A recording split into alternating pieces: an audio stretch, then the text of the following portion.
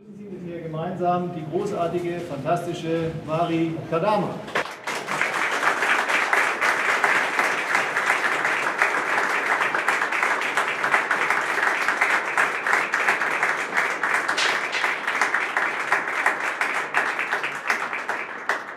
Hallo, ähm, ich bin gestern aus Amerika angekommen und ähm, als ich von Eingang in diese Gebäude reinkam, äh, ich Gänsehaut.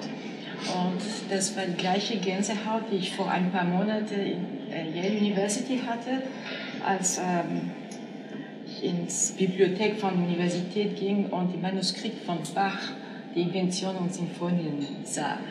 Ähm, man sieht die Geschichte und das war das Gleiche. Ich bin sehr glücklich, hier heute da zu sein zu dürfen, wo ähm, die Geschichte in der Musik äh, kreiert wurde und wo Sie jetzt die Geschichte kreieren. Und ich bin natürlich ganz besonders dankbar, weil als Pianisten ähm, äh, sind Sie unsere Stimme und wir können ohne Sie nicht sprechen, nicht spielen. Also ich bin sehr glücklich heute die Mittagspause mit Ihnen teilen zu dürfen.